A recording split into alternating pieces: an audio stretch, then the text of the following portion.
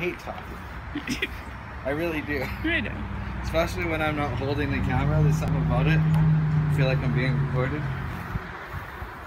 Well, you are. Alright, so we just applied the uh, varnish remover, doing a little paint strip in here. For whatever reason, it's not setting up the same way it did on the Nova. I don't know, and I feel it's like gloppy now. Hmm. It's like thicker. Maybe it's just from the heat this year. It could be. Man, it reeks. Winnie's little hood.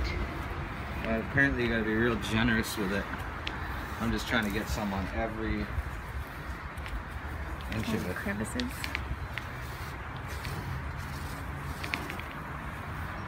Hard to do when it's doing this. It's just sliding across the top of it. I think I missed that.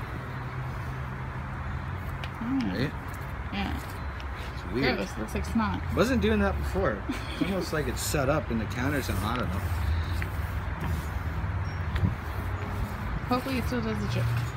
Well, I can see it already is where I first put it down, Oh, perfect. but I have to apply more. Oh yeah, look at that. Right? It just starts to fall off Oh, rather than sanding for an hour. Beautiful. Zip, zip. Fuck, I thought it was rain for a second. Not too shabby.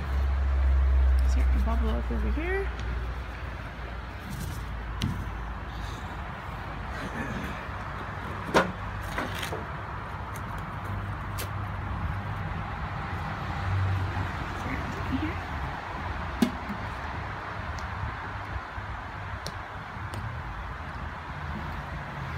All right, I'll let you know how she looks in a few.